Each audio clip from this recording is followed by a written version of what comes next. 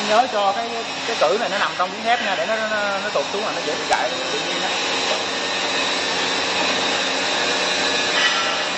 đứng áp đấy này cái ghế cái ghế ngồi cái con này. Anh cho thấy cái mặt này nè. Anh cho thấy cái đường thẳng này. Rồi Chạy cho nó bám vào cái là mình chỉnh cơ cái gì đâu.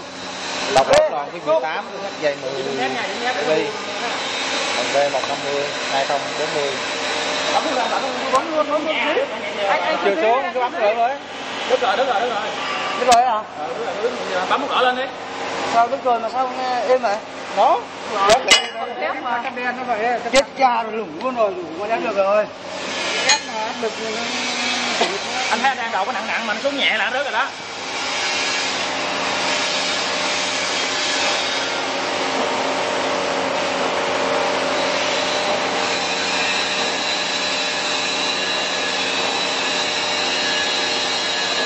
này à, hai người một người thôi chứ hai người. Mai lấy ghế nó ngồi đàng hoàng.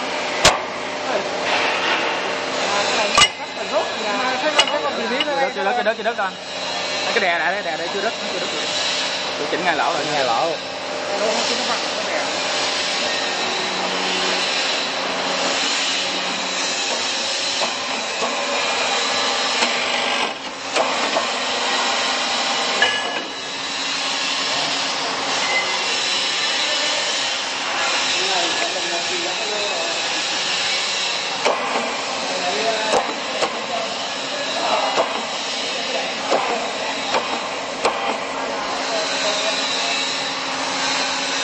đâu còn vô đâu là cái này, nó là nó còn đâu còn gì đâu.